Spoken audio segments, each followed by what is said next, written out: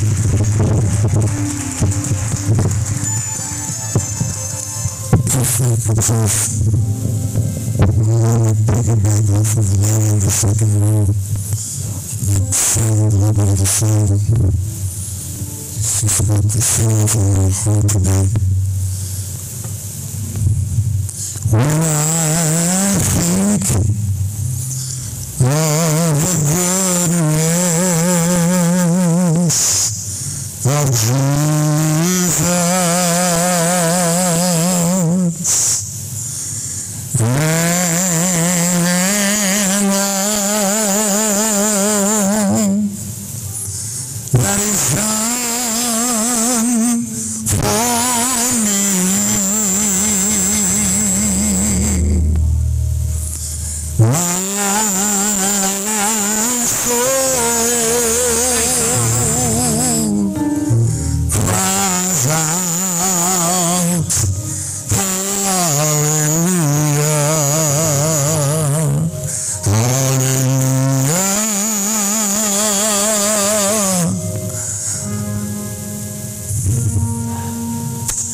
Yeah.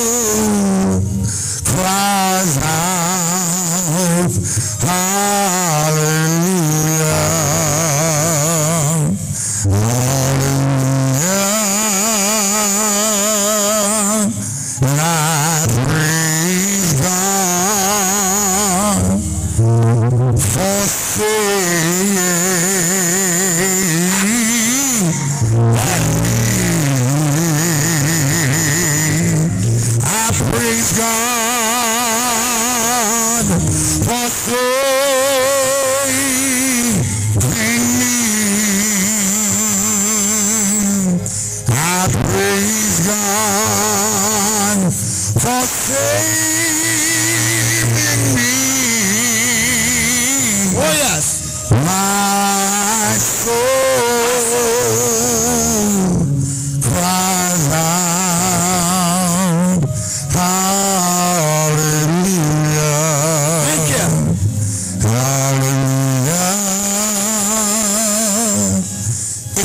saved you from a miserable life of sin, you need to lift your hands and just begin to thank Him for the things that He's done for you and the many doors that He's opened for you.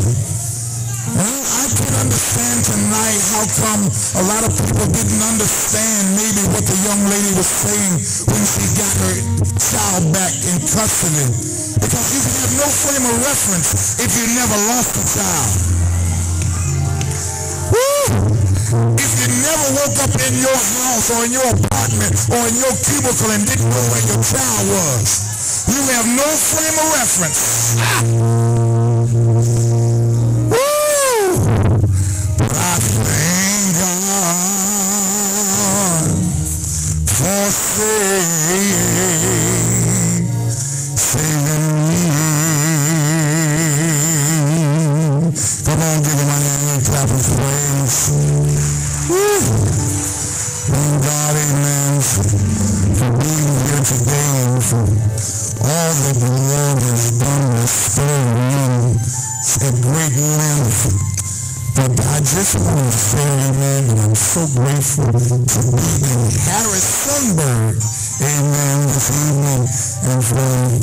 That the love that has been shown towards me while I've been here for the last 24 hours or so. Uh, I, my, my, my, my brother called me, and him and his wife and said, listen, Big Al, let me, you know, because everybody, just because I'm big, they think I want to eat all the time. You know. They said, Big Al, let me and my wife take you out for dinner or lunch or something. And I said to him, I said, I said, Brother Deacon Larry, I said, I appreciate you so much. I said, well, First Lady has already bought lunch. Val has already bought lunch in. And I thank God for First Lady and Val, amen, today to help me through getting some things done in the city, amen. And, but I, I, I tell you, I had another call that blessed me because she wanted to cook me a home-cooked meal. Amen. And that's lovely mother, Elaine Blakey. Thank God for her and her husband. Amen. And just for the people that extend love. You know, it's a great thing when people call you and you ain't thinking about them. They just call to say, I'm thinking about you. Amen. And it's good, amen, to be thinking somebody thinking about you. I'm so excited about this revival and this opportunity to share. I, I, I don't know, I know Paul's been preaching for 30, 40 plus years, but there's something that gets down in the center of your belly, the nervous excitement or whatever it is. Because I understand me within myself, Al Brandon is no good. Y'all ain't saying much to me tonight, but I'm going to stay here until y'all talk to me a little while. And I understand something that the arms of flesh, including my own arms, will fail me. But the truth of the matter, when the Spirit of the Lord shows up, I can make all of my plans large. So when the lady got up to sing a song, she wasn't just singing to y'all. It didn't matter what key she was in, what what what what uh, uh, melody she was, was trying to, to do. The thing was the words of what she was saying. Yes, sir. She said, when I think of the goodness of Jesus, Woo, I could right there. Amen. Glory to God. I don't know about you and what you come to do, but I come to bless him today. And I don't intend to be to you before you very long. But there is a word in the house today. I enjoyed every testimony today because I realized something that there's power in your testimony. Because sometimes God will impress upon you to share some things out of your testimony that you won't pick up the phone and call somebody and tell them. And the Bible lets us know that we overcome by the blood of the Lamb. Y'all ain't gonna help me. And the words of our testimonies. Ah. So you shouldn't be afraid to talk about how God has delivered you from out of whatever you've been in bondage to. The testimony of deliverance should be something to keep pushing you forward. Ah. Glory to God. Amen. I, I, thought about it when First Lady was saying, wonderful introduction, but it's just so much, you know, I'm ready to go. I'm thinking, you know, who's all this she's talking about, you know? But I'm thinking when she talked about how the Lord had delivered me, amen, even from cancer in 94. The doctor said to me in April, said of that same year, said that the cancer was eating so fast in my body that I probably wouldn't live to see uh, Christmas of 94. But all I got to tell you is I'm still here. Come on. Glory to God. Glory to God. And I get a check every year to prove that everything is all gone and there's no sign of reoccurrences. The doctor told me a couple years ago, said, don't come back for about three years so you good to go. I say God stamped a level of approval on me. Glory to God.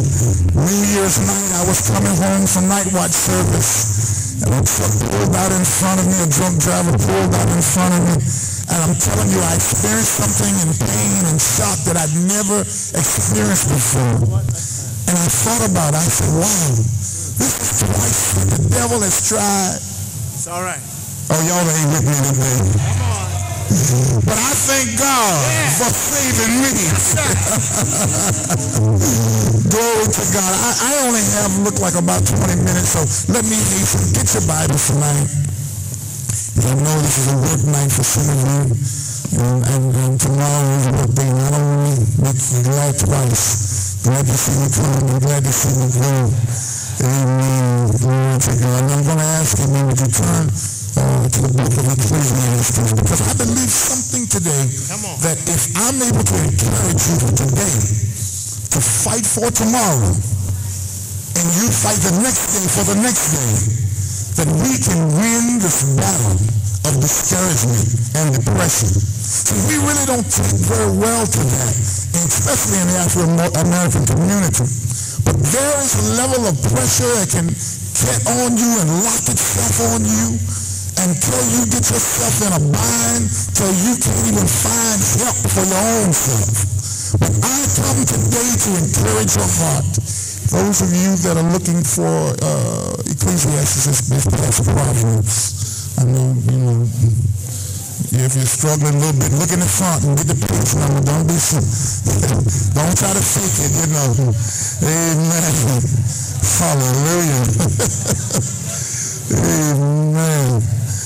This is outdoor meeting, so I don't have to be so technical as if I was in your church. I can just have a good time tonight. And then I'm home on top of that. Amen. Ecclesiastes, the third chapter. And I want to talk about a little bit today the first eight verses. And I'm going to ask, amen, today that you read along with me I'm going to drop out after I get you started and you the main verses of 1 verse 8, and then I'll come back and give you what the Lord said to read. Do you have it? Amen. Well, by reference to the Word of God, if you do or don't have it, we stand for the Word of God. Amen.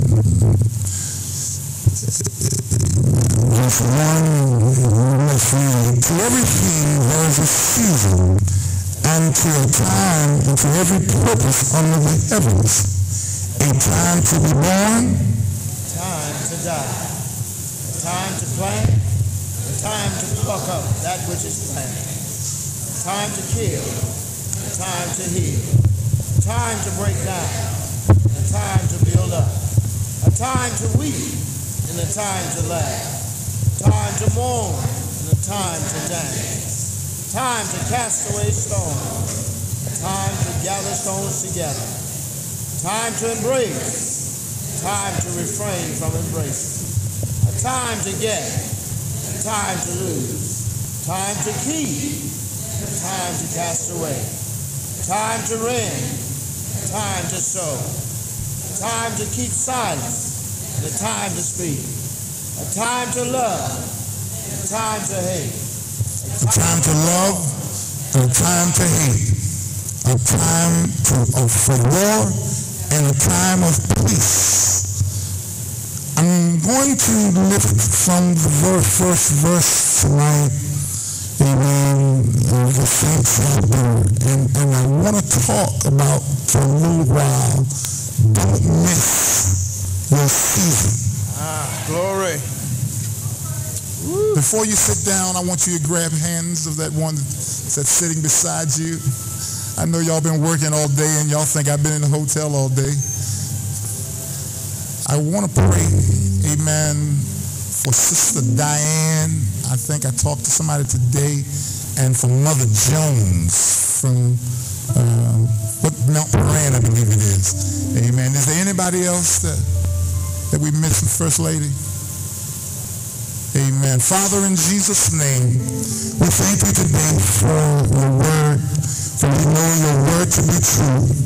We thank you, God, because you have blessed us and you have made ways for us and you've opened doors that man can't get credit for. Father, we thank you today for what you're going to do and what you've already done.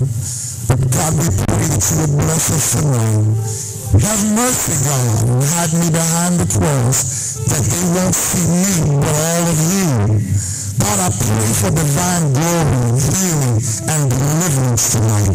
Father, I pray somebody at home may be able to experience this message through one of these verses and through one of these CDs or tapes, God, and still feel the anointing of your power and your glory. Father, I pray for the hands that you're holding today Glory to God because you are holding the hand of a miracle.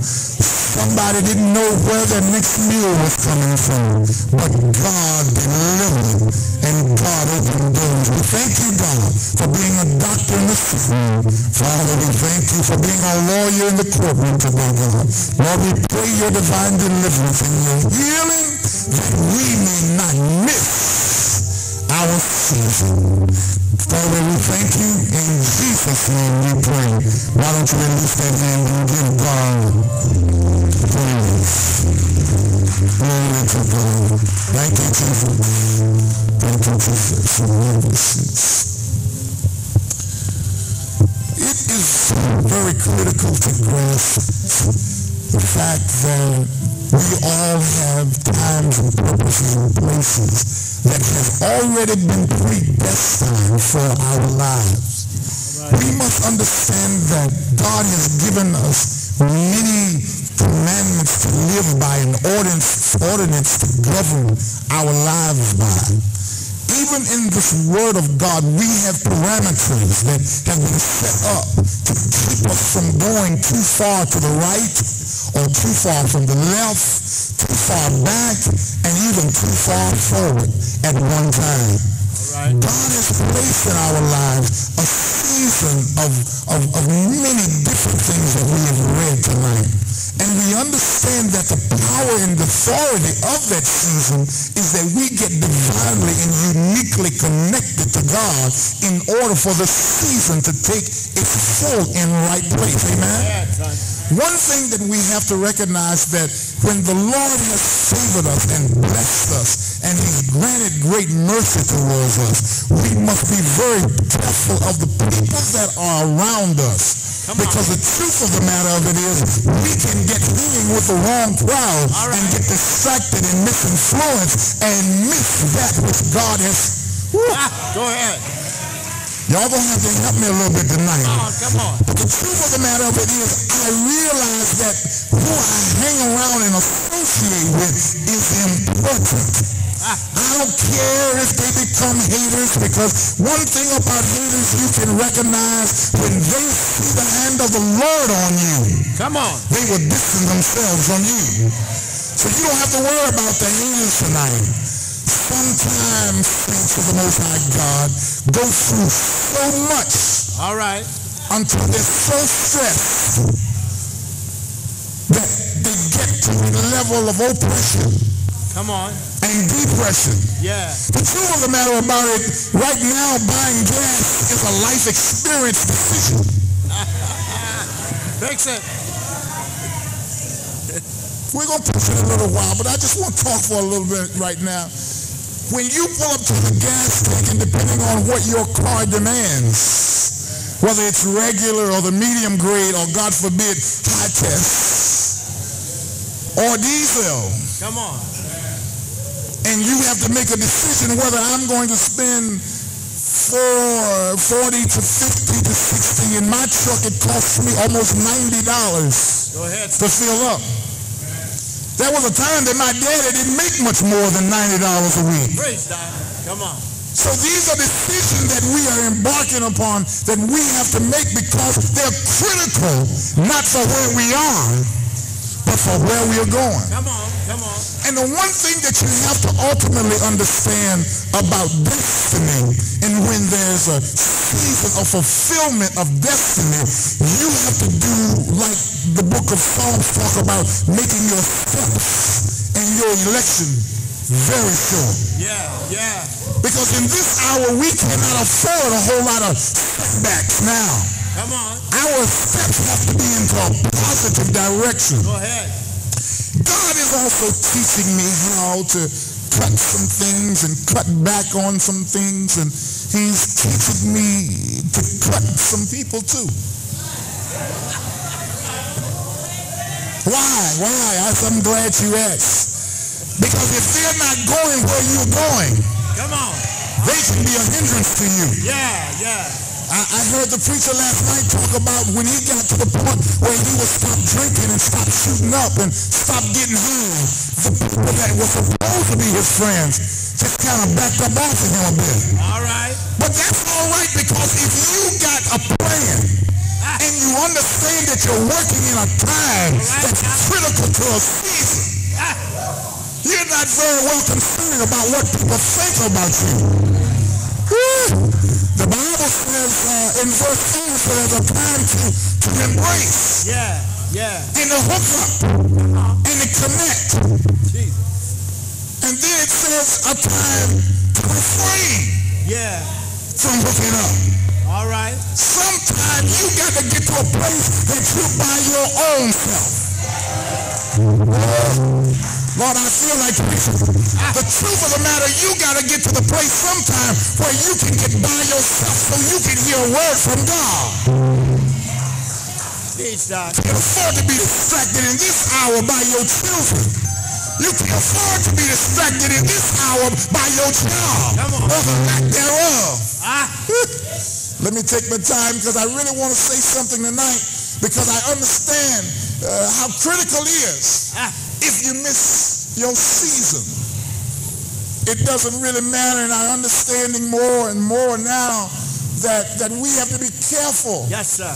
what we say out of our mouths. Come on, preacher. Because sometimes we open up a valley of things that we're not equipped to battle. Go ahead, son. Lord, I'm preaching pretty good. There's some things that we open the door to that we're not ready for. And I, I want to say this, and I don't know, maybe thank God is just, just giving me this piece of rhema, but you better be very careful what you say about the church. You better be very careful what you say about the pastor. Come on, son. I don't care what he is or he's not doing. I know it's broken English, but I don't care how messed up things are. You better keep your mouth off of these things. Ah. Be careful what you say about those praying deacons. Jesus. Come on. See, the truth of the matter, people want to talk about how critical other things are going on, but their children are jacked up and locked up. Go ahead. Their cars are being repossessed. Yeah. Their marriages is on the rocks. Come on. Right